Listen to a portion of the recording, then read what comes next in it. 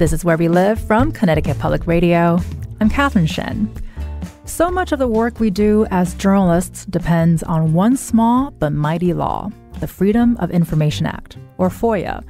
It requires government and public authorities to disclose information on request. FOIA is just one of the legal protections often associated with Connecticut native and consumer advocate Ralph Nader.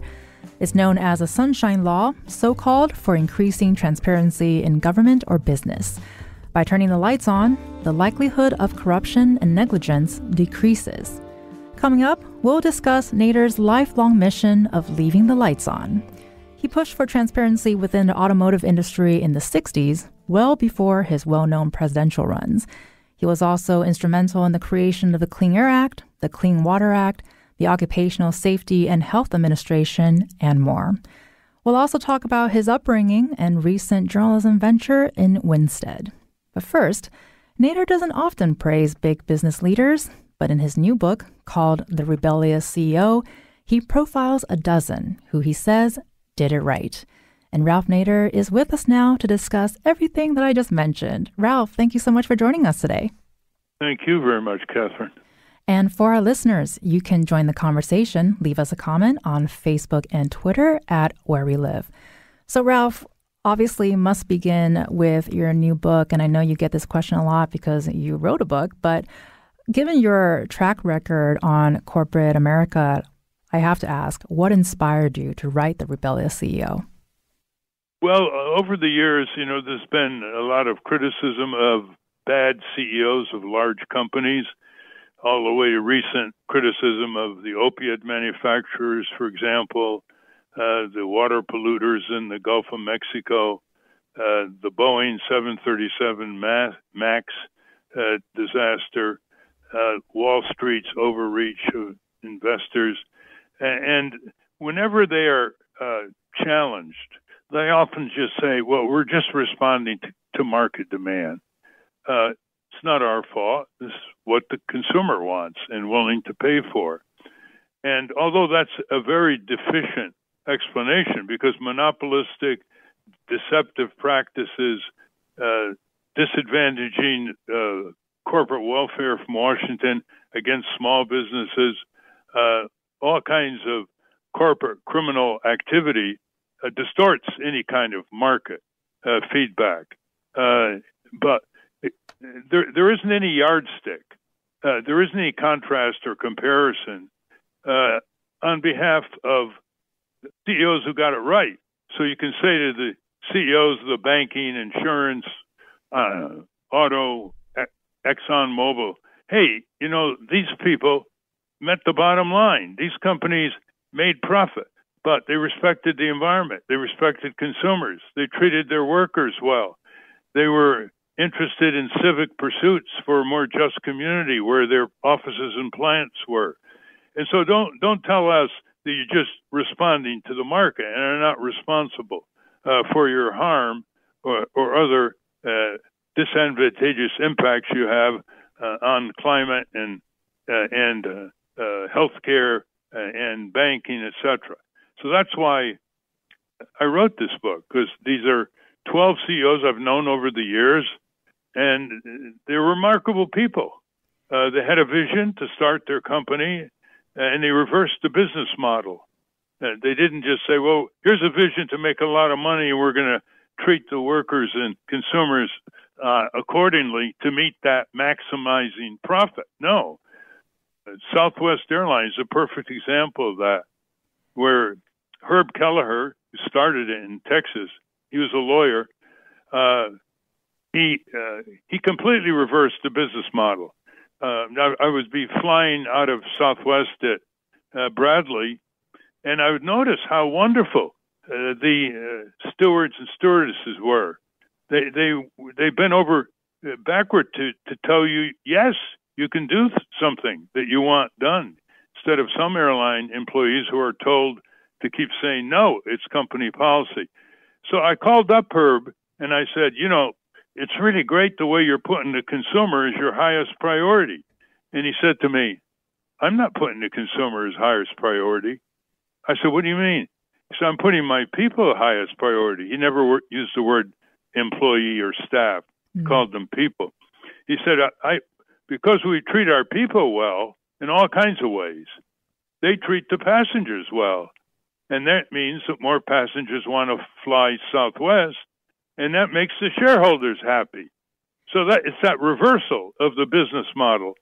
And they practiced what they preached. Right. Well, and you just mentioned one of the remarkable qualities that these leaders share that they weren't guided by the bottom line and they do while they do pay attention to profits, but they didn't avoid, you know, speaking out against injustices um, for fear that it would offend customers or cause political retaliation or hurt the bottom line, which is what you wrote in your book. But I want to ask, you know, what do you think has made this characteristic and sort of striking this balance here either less appealing or more difficult to achieve over the years? Well, I think it, it, it, you know I hate to say this, Catherine, but it probably goes back to their upbringing. you know, we we can sort of praise their parents uh, because they had wildly varying personalities, but very very common character traits. Sure. For example, uh, they admitted their mistakes in public to put more pressure and get more feedback so they could correct them. That's a pretty rare thing for CEOs uh, over time. They uh, uh, they, they, didn't uh, uh, whine much about regulation because they exceeded the regulatory standards. Uh, her, um, Ray Anderson, who started the, the, biggest carpet tile manufacturer in the world out of Atlanta, he he converted his company to carbon neutrality over 15 years. He's an engineer, and he he way surpassed uh, environmental uh, standards. Uh, they uh, would criticize their own industry. Uh, the best one in the book on that is Anita Roddick of Body Shop, withering criticism about the manipulation uh, by the beauty industry, especially of of teenagers and others, and and, and how they uh, expose them to harmful uh, cosmetics as well as harmful psychology. And so they uh, they're very careful about not overpaying themselves.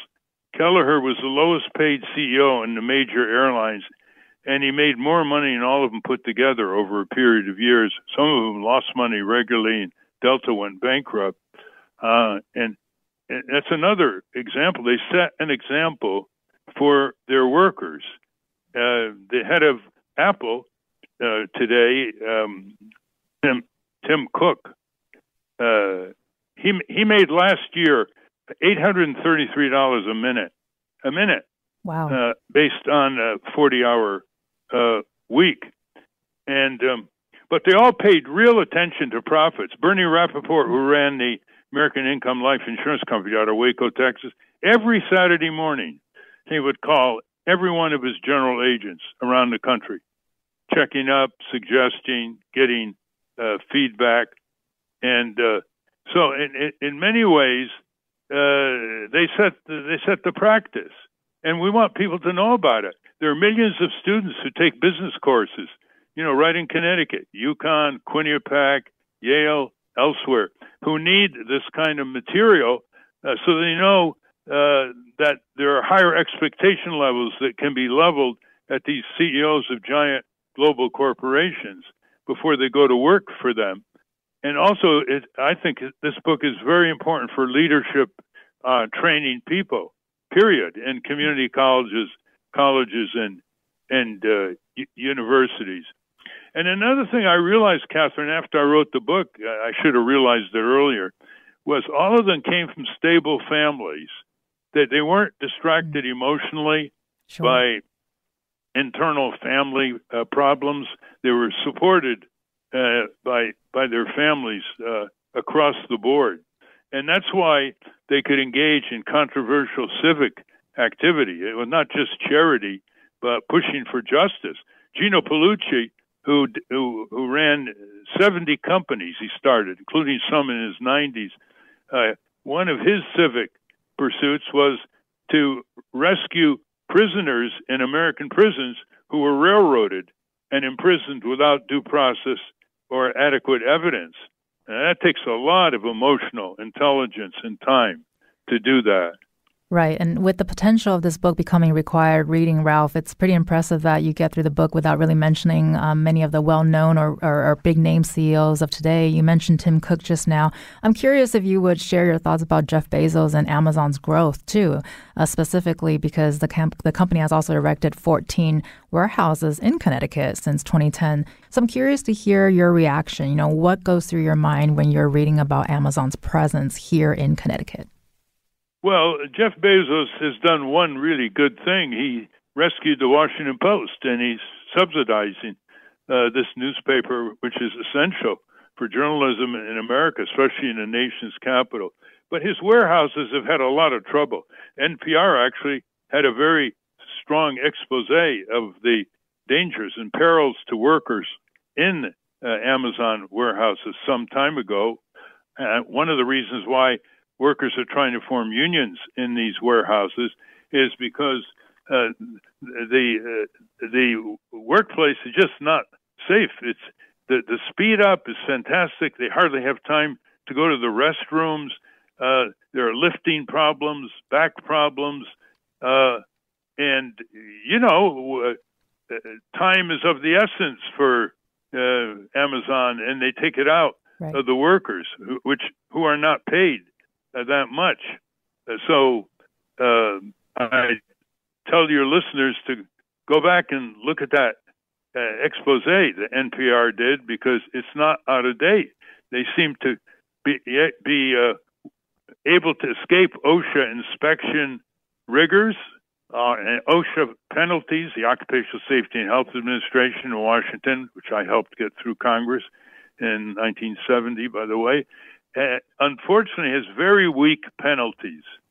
Uh, the, there was a, a, worker who was wrongfully uh, injured fatally recently in a factory, not in Connecticut, and OSHA imposed the maximum fine on the company under the law thirteen thousand dollars. Thirteen thousand dollars for a loss of life in the workplace.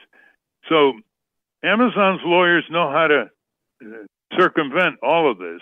The state enforcement for workplace safety leaves a lot to be desired. Underfunded enforcement budgets, weak legal authorities in their charter.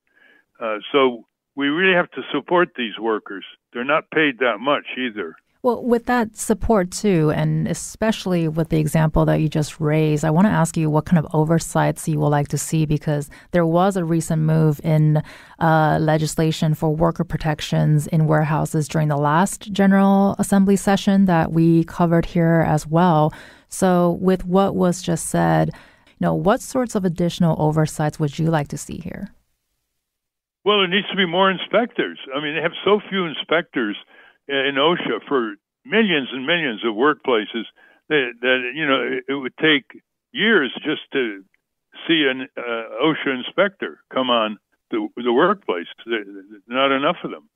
Uh, the whole budget of OSHA, uh, listen to this one, it's about $600 million a year. This is for millions of workplaces and tens of millions of workers, foundries, factories, office buildings, uh, transportation, you name it. Well, that's just a little more than what the budget was a few years ago for the U.S. Embassy in Baghdad. It's ridiculously low, and it's kept low by corporate lawyers and lobbyists who swarm over Congress and make sure that tax dollars are not put adequately into OSHA budgets for investigation, for prosecution, and also uh, for establishing updated standards. A lot of the standards for our workplace health and safety out of OSHA are, completely obsolete. So we have to pay attention to America here. Uh, you know, we one aircraft carrier now comes in at 14 billion dollars. Just one aircraft carrier, which now is pretty obsolete in terms of missile vulnerability.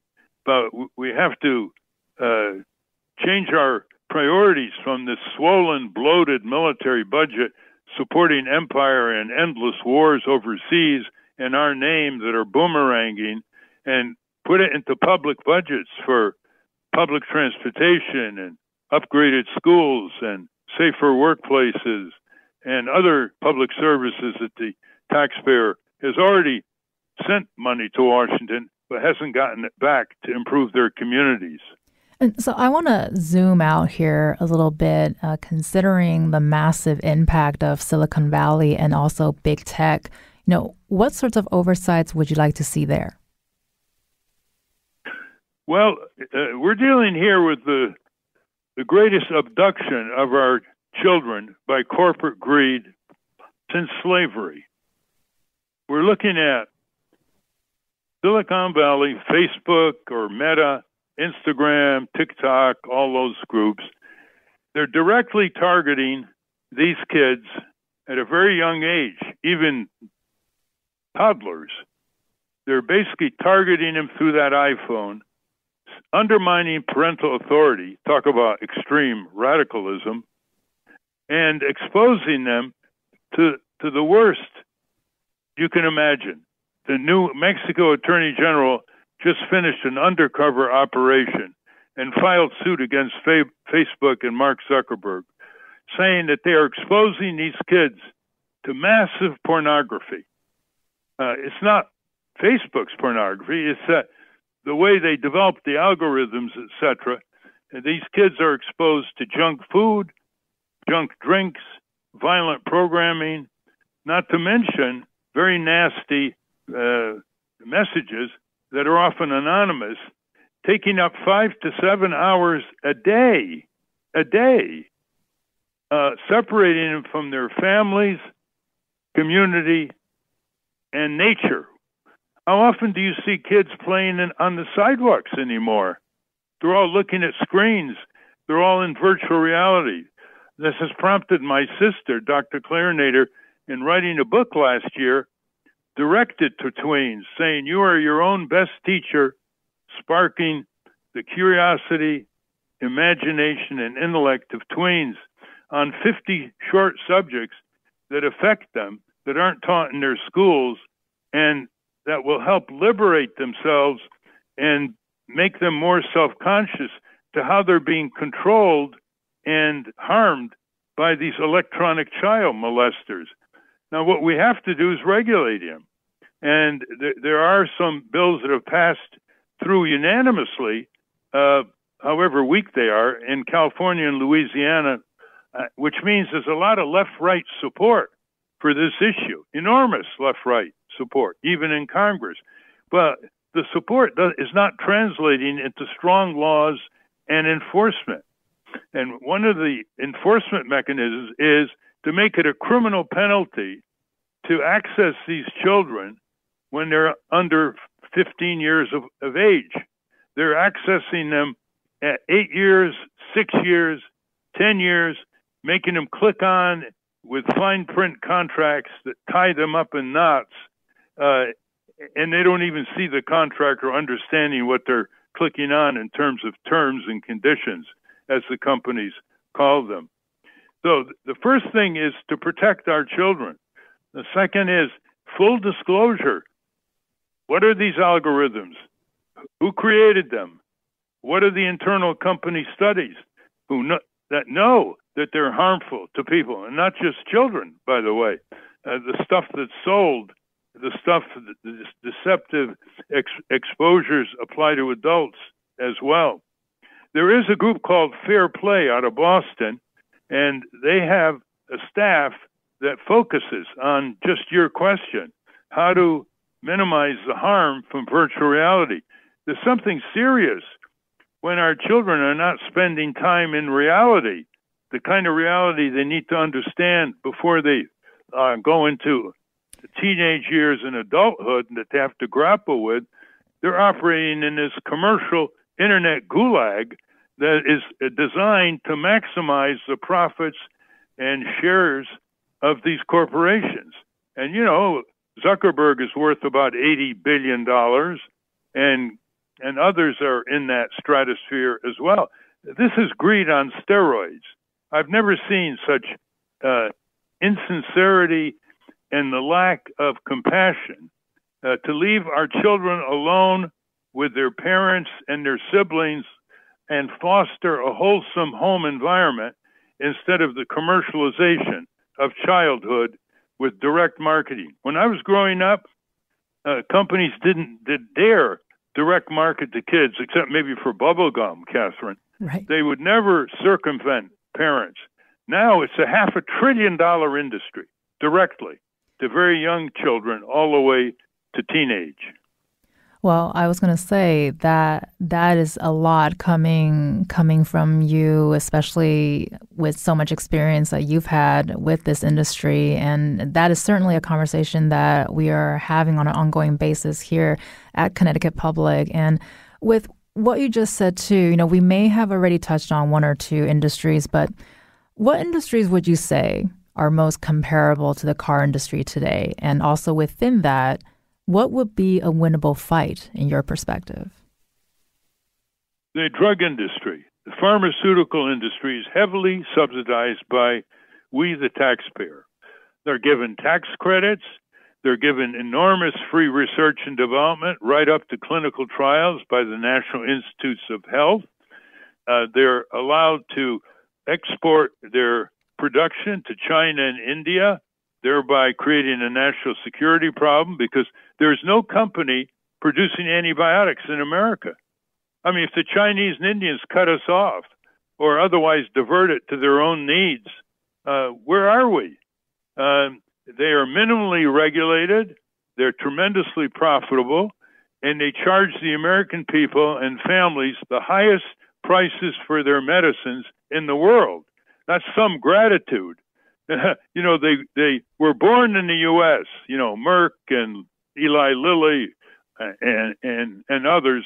They rose to profit uh, in the U.S. and they started selling abroad. And all these countries abroad, from Canada across Europe, Africa, they control drug prices. They don't allow this kind of gouging.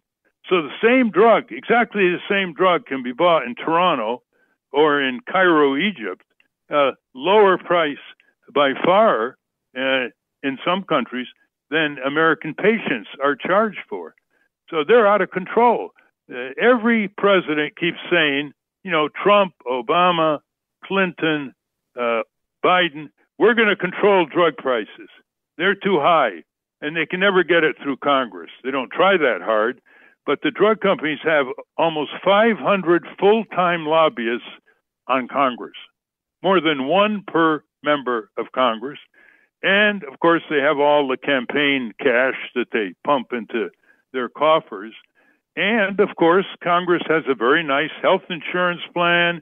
They don't have to worry about high drug prices, and uh, uh, and they get away with it year after year after year with stupendous uh, profits.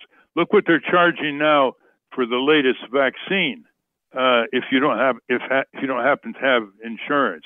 It's it's multiple times what their cost is, and Moderna was actually subsidized by the, the National Institutes of Health in developing its vaccine, and it's still charging outrageous prices along with Pfizer, which people uh, a lot of people can't afford if they don't have health insurance, and tens of millions of people still don't have health insurance. Oh, the, Bernard Rapoport would always criticize big business. He once talked to a gathering of the Bank of America in California, and he said, You know, uh, you're so big that if you fail, you can pull down the economy. You ought to break yourself up into smaller banks for economic security in our country. so they, these CEOs in the book, uh, Bernard Rapoport insisted on having a union in his company. I mean, unions in insurance companies are almost unheard of. And he not only insisted on a union being organized, he joined it himself. Jeno Paulucci demanded that there be unions in all his company so he could negotiate with them. He didn't want them unable to collectively bargain. So that that's the kind, and they all made money. These companies. So that's the kind of uh, of character that we have to insist uh, on being emulated by these large corporations.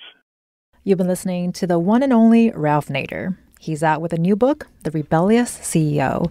We'll continue this conversation after a quick break. You can join us. Find us on Facebook and Twitter at Where We Live.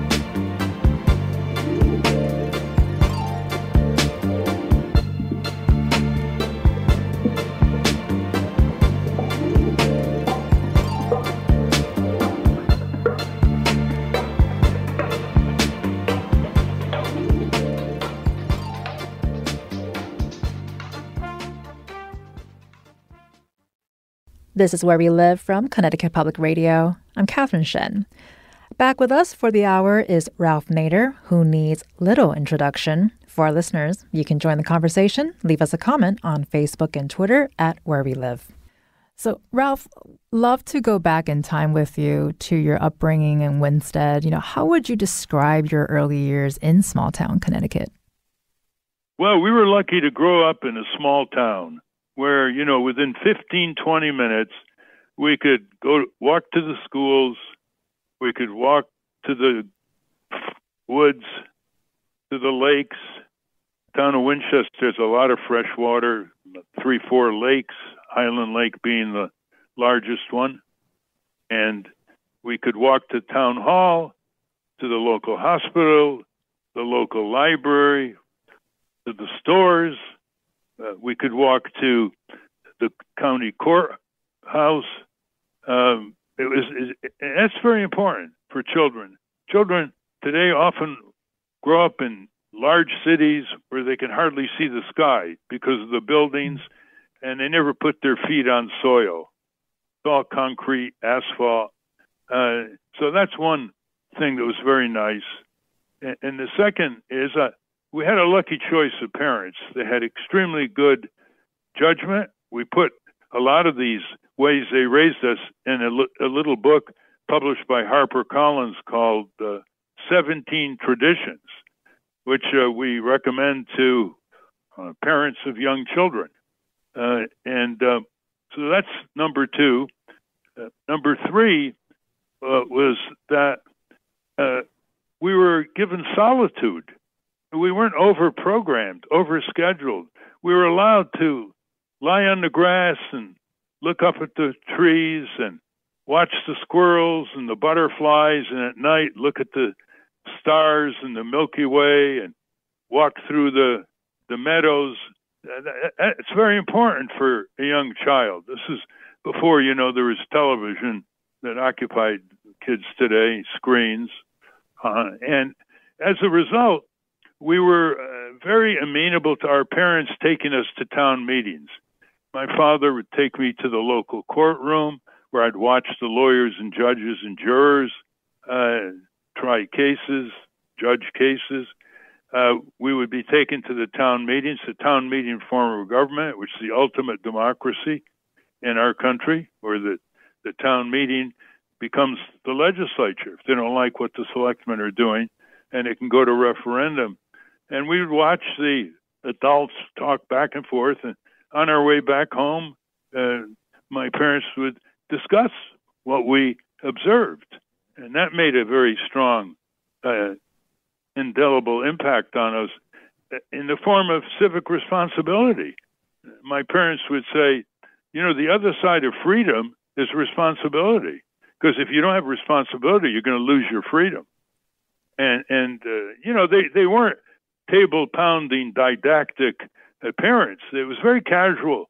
Uh, we watched how they embraced uh, their community responsibilities. My father ran a restaurant on Main Street, delicatessen, bakery, and they used to say, uh, for a dime, you, you, got a cup of coffee at Nader's and 10 minutes of political conversation. Beautiful. Well, I, I'm smiling here because as you're describing your upbringing, it sounds like such an enriching childhood, and you've had so many experiences already just being a kid in Connecticut.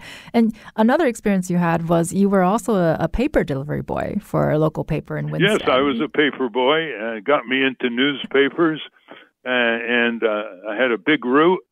Uh, I got to knock on a lot of doors or throw the paper on a lot of porches. But I wanted to uh, conclude what all this upbringing resulted in. Sure. My brother was the chief initiator and founder of the Northwest Community College, which is among the first community college in Connecticut. It's now rated number one, and it's about 81st out of 1,300 community colleges in the in the country. My sister, when the uh, Litchfield Memorial Hospital closed, um, rallied thousands of citizens in the catchment area, Winsted and Norfolk and Colebrook and, and other towns, Riverton, Barkhamsted, and established the Winsted Health Center, which was an urgent care center. Not 24 hour beds, but at least it was it was better than not having a hospital for those many thousands of, of people. Uh, I started the first and only law museum, to our knowledge, in the world, the American Museum of Tort Law, in the place of a community bank that merged with another community bank. We used to go down and put our quarters in our savings account in that bank. Now it's the American Museum of Tort Law. You can take a free tour and learn about the law of wrongful injury. That's what tort law is. People injured by defective products, unsafe chemicals, medical malpractice, um, you know, workplace hazards. A lot of exhibits. You can get a free tour. Just go to tortmuseum.org, or even better, visit it. It's open Friday, Saturday, and Sunday afternoons. Plenty of free parking. Very nice restaurants nearby, and then Melissa Bird, who's the executive director, would love you to to visit. There's nothing like seeing the actual exhibits and how they respect your intelligence, as one museum goer said to us uh, going out the door. He said, I've seen hundreds of museums. This is the first one that respects my intelligence. Right. And what has the response been to the museum since uh, its opening in 2015? Well, it's it's uh, interesting. People come from all over the world because we have the best tort law in the world with all its warts, and trial by jury, which almost no country has for these civil wrongful injury cases. Uh, that's very gratifying. Uh, one was a retired jurist from India who said, I know what you're trying to do. You're trying to bring the law to the people. I said, Presto, that's exactly what we're trying to do. So we get people from around the country. But it's strange. We don't get that many people within 30 miles of Winsted, which includes Hartford and New Britain. And I don't know what the reason is. Uh, it was declared the best new museum in New England by Yankee Magazine in 2016. And people are enthralled by it. They, they come out totally enthralled, totally educated. Uh, it's one of the few museums that can change people's minds instead of all the propaganda about trial lawyers being ambulance chasers uh, using frivolous suits. Uh, there's no evidence to pro- to uh, support frivolous suits. The judges dismiss frivolous suits. Bingo, just like that. They're in charge of the courtroom, and lawyers who try to file those kinds of suits lose their credibility in front of the courts, and they don't like to have that uh, occur as well.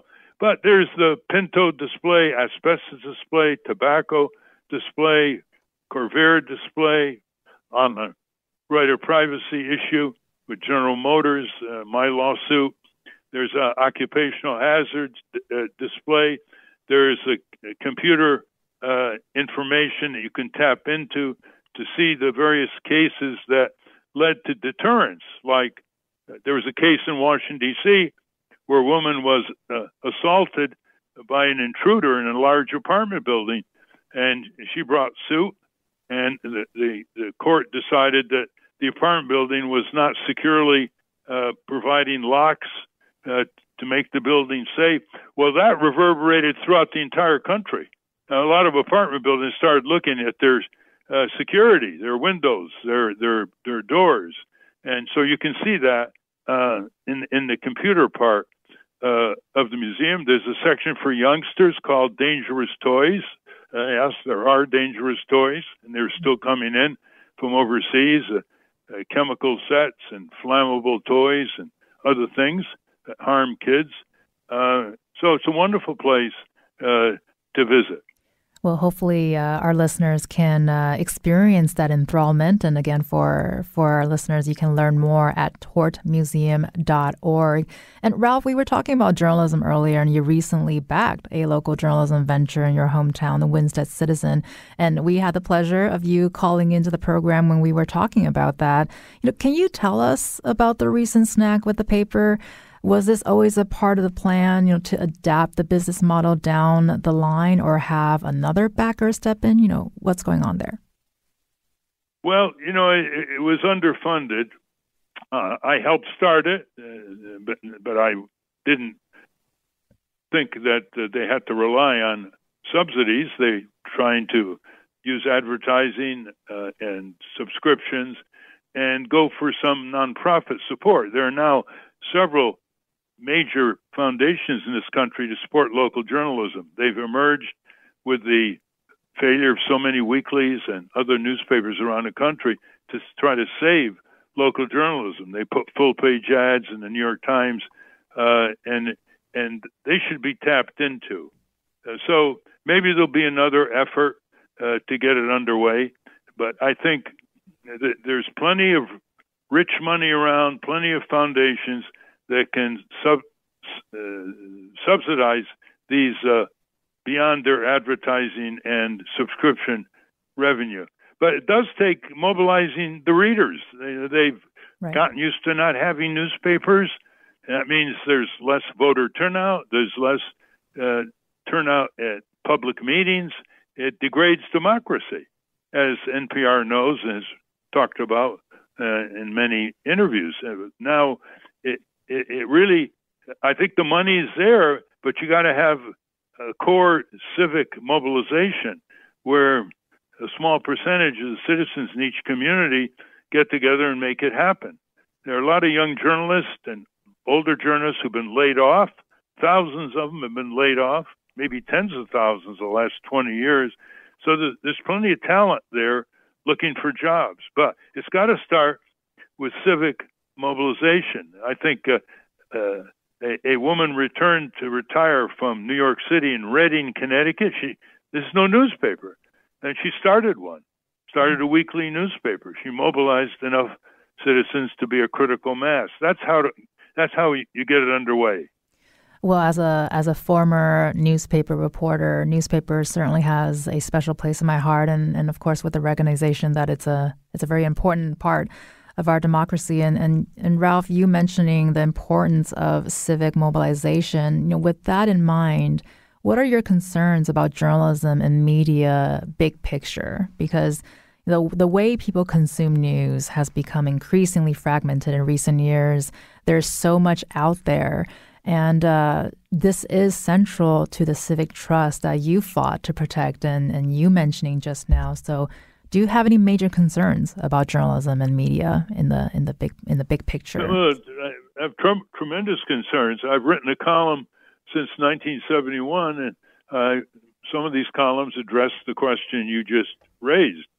Number one, a newspaper is only as good as the quality number of its reporters. And if they cut the staff the way some of these newspapers in Torrington, Litchfield, I mean, a Torrington Register Citizen is on the ropes. It's owned by a conglomerate and only has one full time reporter. One full time reporter. She runs around uh, tiring herself out day after day. Uh, used to have several reporters. Uh, in my hometown, Winsted, we had a daily newspaper six days a week. There were times when the front page was similar to the New York. They had world news, national, local, AP, UPI uh, came six days a week, and now there's there's not it's not even a weekly.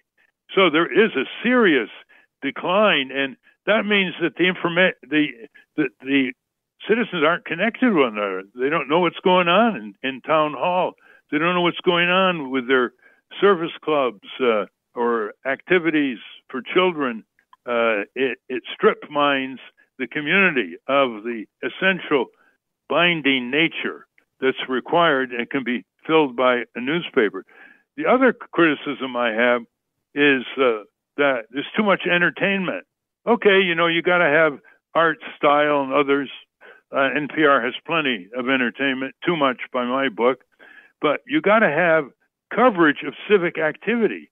The New York Times, which is seen as the, the master newspaper in the country by many, is turning itself into a magazine. Has huge photographs, much larger than necessary, uh, taking up space. It, it has great features uh, for prizes, but it doesn't cover civic activity in New York City. I've talked to the editors uh, and I said, you know, you have an art section, a special art section every day, seven days a week. Why don't you have a, a civic activity section one day a week? Oh well, you can't make it pay or something. No, I said nonsense. You can't make it pay. You could go easily make. I showed them how you could make it pay. Uh, that's not the point. They get a lot of advertisement in other sections that can support reporting uh, what some of the thousands of citizen groups in Manhattan, Brooklyn, the Bronx, uh, other boroughs are doing try to improve their neighborhood. Well, they say, well, circulation is down. Well, why wouldn't it be down if if, if they they never see their community covered? Uh, that's part of increasing circulation, and so I think uh, uh, it, it, you see it everywhere. You see it on PBS where they used to interview on tax matters the head of Citizens for Tax Justice, who really knew what he was talking about, Robert McIntyre, when MacNeil Lehrer were, were uh, the anchors. Now they interview reporters. They don't interview civic groups, or they'll interview an academic or a think tank or some company uh, uh, person. Uh, they're they're excluding the civic community big time. This is very serious local journalism, national journalism that excludes the fountainhead of democratic success in this country, small d, strong democracy, which is it all starts with the citizens. Every major progress in our country started with one or two people talking with one another. And then it grew into a movement. Then it got the attention of the politicians and the courts, and whether it's the civil rights movement or progressive taxation or the union labor movement, women's suffrage, uh, anti slavery, abolition movement. I mean, it's very, very clear. Democracy starts with civic engagement by ordinary people beginning to do extraordinary things. And if they do not have a voice in the media, the media is shutting down the fountainhead of democracy. And, uh, and public radio and public broadcasting have got to pay attention to that because they are not excluded from the trends that I've been describing. You've been listening to consumer advocate and former presidential candidate Ralph Nader. He's out with a new book, The Rebellious CEO. Stay with us. We'll continue this conversation after a quick break. You can join us. Find us on Facebook and Twitter at Where We Live.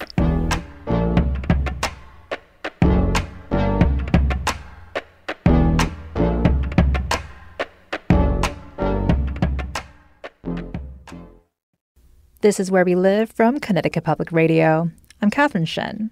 We're back with Ralph Nader discussing a wide array of topics, including his new book, The Rebellious CEO. And for our listeners, you can join the conversation. Find us on Facebook and Twitter at Where We Live. So, Ralph, you co authored a letter to President Joe Biden in late October urging him to pull back on military support for Israel. And after more than a month, you also wrote an op ed in the Albany Herald about his silence. So, have you gotten a response from the president or other elected officials since that follow up? We got a form response which didn't answer the issues. Um, we're dealing here with the uh, Obama and Congress turning the U.S. into a co belligerent supporting, I don't say supporting Israel, I say supporting the most extreme anti democratic, militaristic governance of Israel by the Netanyahu regime, which American Jews in great numbers are horrified by. He tried to strip the judiciary and is still trying in in in uh, Israel of its role, critical role in Israeli democracy. And so unconditional support uh, with billions of taxpayer dollars, sending weapons of mass destruction uh, to the Israeli uh, regime which is now destroying Gaza. It's all over television, it's all over the social media. Pictures give the truth. It's massive destruction of civilians in Gaza. They're being herded south and heading toward the Egyptian border, uh, displaying fears that they're going to be expelled uh, from what's left of their homeland.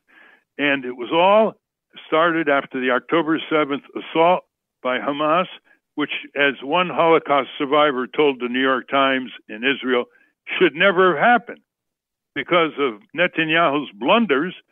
He w- was caught napping uh, with the Israeli defense. The Hamas fighters wouldn't have gone a foot into Israel if the uh, if the automated controls, detections, and uh, military were alert, but they weren't. They were asleep at the switch. So, how, how many Palestinian civilian lives have to pay for that kind of military blunder? How many $14.3 billion is Biden going to charge the U.S. taxpayer, uh, which I call a genocide tax, uh, to further the destruction of Gaza and its Palestinian people uh, because of Netanyahu's uh, colossal de- defense uh, and intelligence uh, blunder. Now, it started with the orders by the defense minister and others in the far right extremist coalition in Israel saying on October 8th no food, no water, no medicine, no fuel, no electricity, nothing, nothing is going to be allowed uh, in the ongoing blockade, which is was going on for 16 years of Gaza for the Palestinian people. Those are explicit genocidal words conforming to the exact language of the Genocide Convention, which was arrived at in 1949, born of the Holocaust in World War II. Exact words. And they're more than words. They're being implemented by Israeli F 16s, artillery, tanks, day in and day out, starvation, lack of water, diarrhea, dysentery, disease, babies dying, children's dying, no shelter for 85% of the 2.3 million. They're out in the elements. They're being pushed here and there. They're being told by the Israeli military, go there, go there. They go there. They're still bombed, attacked. They can't even bury their bodies. They're piled up, being eaten by stray dogs, babies in incubators, no electricity, dying and the, the, the figures that are given seventeen eighteen thousand dollars eighteen thousand dollars excuse me seventeen to eighteen thousand lives is a gross undercount as i wrote in my letter what if this was happening to philadelphia which is about the same area as the gaza strip has a million and a half people and you had 25,000 uh, bombs missiles dropping on schools and uh, water mains, hospitals, healthcare facilities, uh, places of worship, uh, marketplaces, cropland, what even cropland is being destroyed, what little there is in Gaza growing food, uh, ambulances, apartments, homes, uh, and there there is no medicine, no hospitals, uh, nothing, no aid hardly coming in from the outside. How many people in Philadelphia you think would be dying? There'd be tens of thousands. They're dying from not only from the bombs, they're dying from the consequences of starvation and spreading disease, measles, the lack of medicine for diabetics, for cancer victims, the lack of any transport, no hospital facilities working except one, and and we're in, all this is being done in our name in violation of international law, even violation of U.S. law, which says that no military weapons should be sent to any country that uses it for offensive purposes or violating human rights. Well, there's a principle of international law that says if you're attacked, you have to you cannot disproportionately counterattack and kill all kinds of innocent civilians that had nothing to do whatsoever with the attack, like the Hamas attack, which was totally preventable if the uh, Netanyahu regime wasn't caught napping. Well, so where is this going to where is this going to end up? It's going to end up possibly in a larger war. We have aircraft carriers off the coast. This could involve U.S. soldiers. Another endless war.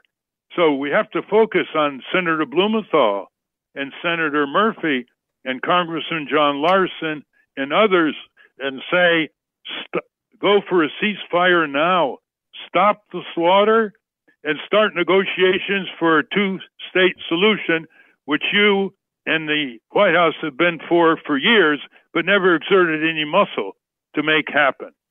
And I think many of us are grappling with everything that you just shared now. And want to move to a different kind of mobilization. We've been talking about civic mo- mobilization earlier, and we know students here in Connecticut, on Connecticut campuses, are leading many protests criticizing the U.S. response to the war between Israel and Palestine. So I want to ask you, what are your feelings about the importance of student movements in this moment? You know, what are your hopes or concerns about the faith young people have in civic institutions and civic duty? Well, uh, it's it's encouraging that they're you know leaving their screens and going out and peacefully protesting and debating the issues. Uh, Jewish Voice for Peace, uh, if not now, are wonderful organizations. Uh, they're very, very courageous. They're very smart in the way they uh, do their nonviolent civil disobedience.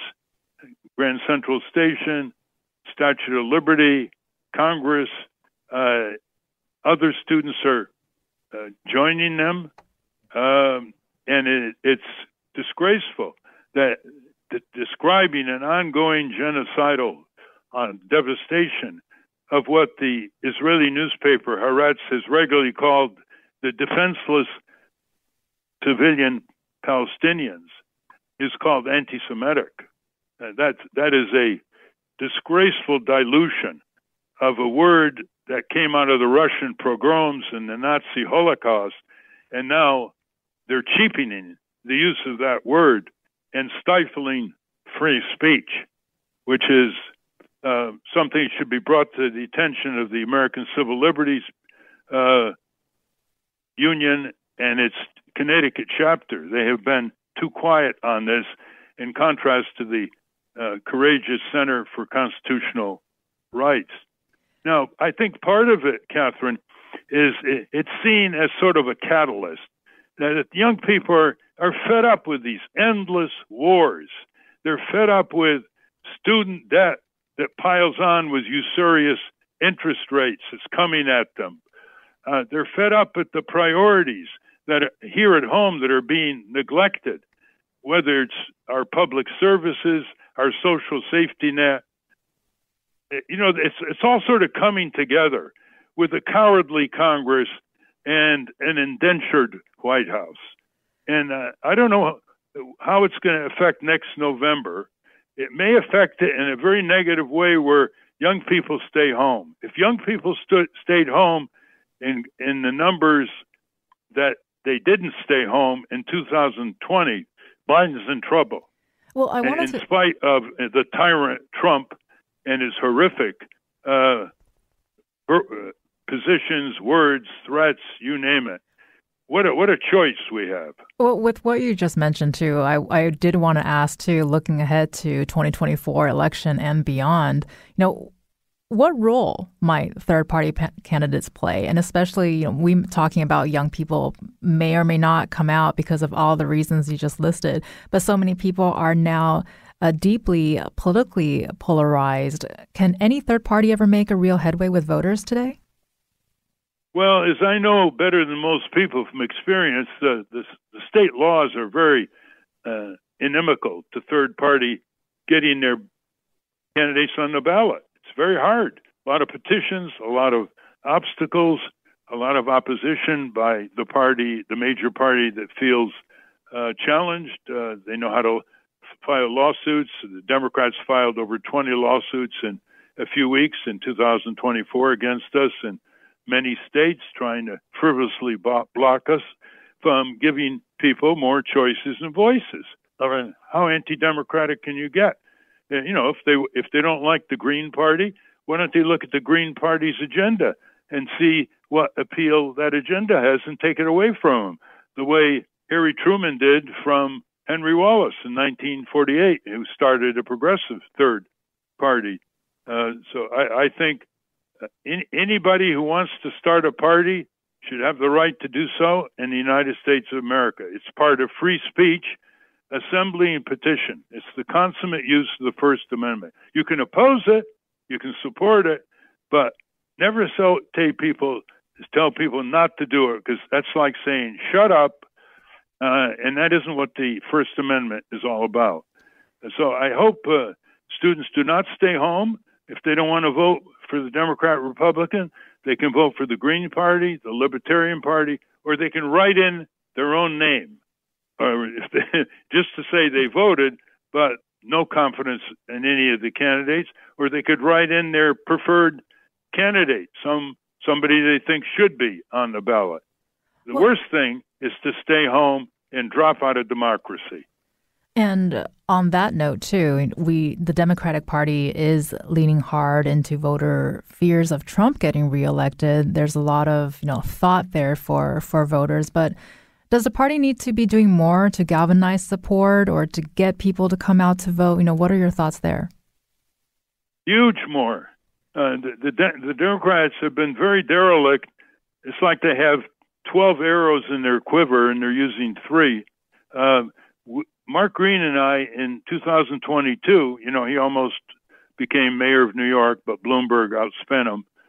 Um, we organized 24 civic leaders for a Zoom call with Democratic congressional candidates. Uh, John Larson endorsed it, and uh, Jamie Raskin endorsed it, Hakeem Jeffries, uh, Jim McGovern from Massachusetts.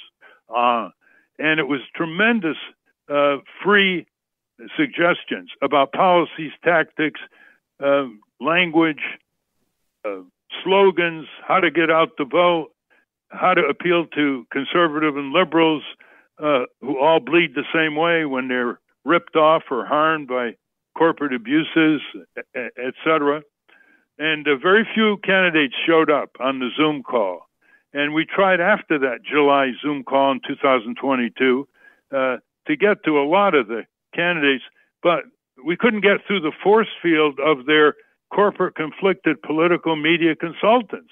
Kathleen Curry in uh, Connecticut, a very astute uh, political, politically savvy person, says that when these consultants lose, they blame the, the candidates. They never blame themselves, and they also have corporate clients, so they're they're in a cross cross mix here, conflict. And so I advise people to go to winningamerica.net. You'll see that six hour presentation by 20, 24 or so civic leaders and everywhere from pension rights to environment, consumer, labor, campaign, finance, climate, you name it, uh, corporate crime. Um, and you can get access to the report free uh, it's it's it's called Crushing the GOP 2022, and they wouldn't listen. As a result, they lost the House of Representatives to the worst GOP in modern history. Teddy Roosevelt, Dwight Eisenhower, Senator Robert Taft, they, they couldn't believe today's uh, ignorant, greedy, stupefying, power concentrating, anti worker, anti children, anti women, anti environment GOP in Washington. I mean, if they can't landslide them, the Democrats better look at themselves in the mirror and stop looking at scapegoats like the Green Party, which gets a minuscule vote. They ought to look at winningamerica.net. It was a major civic effort by citizen groups to say, look, Democrats, and you know, you're all we have, really. It's either that or Trump. So wake up all of these issues minimum wage, extension of the child tax credit, increasing benefits of Social Security, as Congressman Larson has been the leader of in the House Ways and Means Committee, but not getting through. Uh, cracking down on corporate crime, changing the monstrous tax system that's letting big corporations pay minuscule taxes and, and the super rich pay lower taxes and, and redirecting our public budgets to necessities back home, et cetera, et cetera. These appeal uh, to liberal and conservative families, liberal and conservative voters.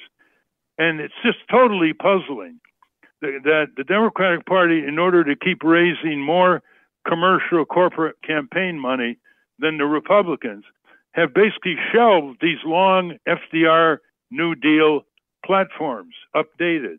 So people listening, go to winningamerica.net to see what I mean. Well, and with all of your experiences, and you also were involved with many citizen groups, and you mentioned Mark Green earlier, who's one of your early Nader raiders. I want to touch on you demonstrate in, in so many ways a really abiding faith in American government and and the ability to work, however doggedly, within the system to really affect and make change. And so Mark Green was quoted in the 20 or the 2006 documentary about you, An Unreasonable Man, saying that you are the embodiment of the ethic you can fight City Hall. So, do you have concerns, Ralph, about dwindling faith in civic institutions and civic duty, you know, as we talk about mobilization here?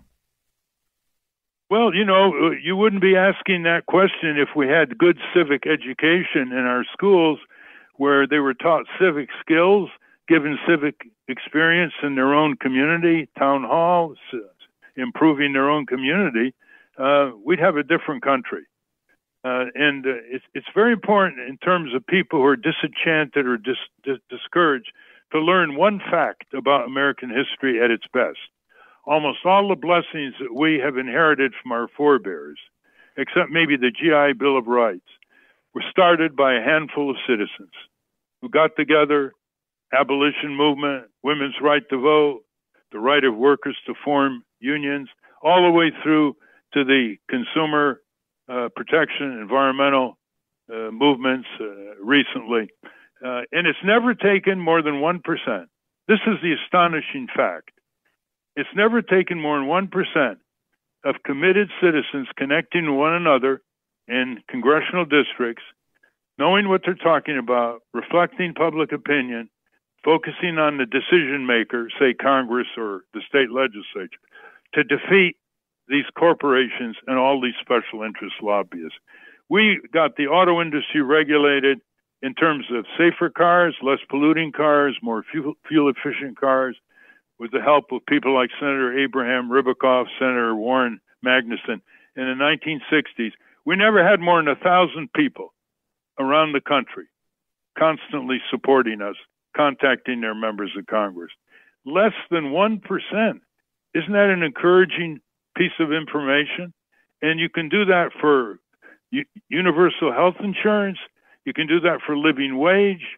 You can do that for revising the tax system, for waging peace, international arms control, and environmental treaties are greatly needed. Reducing the bloated, corrupt military contracting budget uh, and and transferring it to community restoration and public services and public works. We know what the priorities are needed. We need more community health clinics that focus on prevention. We need better nutrition for our families and our children. We need cleaner air and water. All these are uh, available with solutions on the shelf that aren't being applied because there's a democracy gap. And Catherine, that democracy gap falls on all our shoulders. It's when we stay home and don't go to a town meeting, when we don't inform ourselves before we go to vote, when we uh, don't go to uh, invitations by citizen groups desperate for more members and support, whether they're food co ops or local drinking water safety improvement groups or groups opposing bigotry and civil rights and civil liberty violations. Uh, we have to carve out a little of our time every day or every week for our civic duties, along with the time we put on our jobs, with our family, and with recreation. Otherwise, a breaking up of our democratic society, which we're witnessing everywhere, especially under the Trump uh, regime, uh, is going to lead to anarchy. it's going to lead to the destruction of the rule of law. We know what that means when we uh, study the history Uh, overseas of what happens when that starts breaking down because people are spending too much time looking at screens instead of looking at one another, asking how they can improve their community, state, nation, and world. Well, we we love ending conversations with with inspirational uh, stories. So that's great advice, Ralph. Make time for civic duty, and we've also been having a lot of conversations here about starting the civic uh, education earlier here in Connecticut schools. So, got a little hope there, Ralph. And uh, you've also said before that you don't care about your reputation or even your personal legacy, but I still want to ask, what would you want your story to inspire in people? You know, what do you want to be remembered for, Ralph? Well, it's really the subject of my little paperback, Breaking Through Power. It's easier than we think. One person can make a difference. Two people can make more of a difference. A hundred people can make more of a difference. What are we waiting for? You always try to do things that no one can stop you from doing because of our Constitution and our traditions before you meet uh, the opposition of the lobbies. It's like, uh, to use baseball lingo, uh, you walk or you hit a single, you hit a double, uh, and then you start getting uh, a better pitcher in to oppose the batters. But don't give up on yourself. Don't start thinking it ain't going to happen. There's too much power in, in, in the hands of the big boys. Uh, why should we even try? Uh, shame on us if we do that. And we should remember our forebears who were uh, far more courageous. They they didn't say uh, those things and give excuses for themselves when they demonstrated and picketed and sat in on the auto plants to get the UAW, uh, United Auto Workers, organized or uh, fought against slavery. They uh, uh, they had a higher estimate of their own significance, Catherine.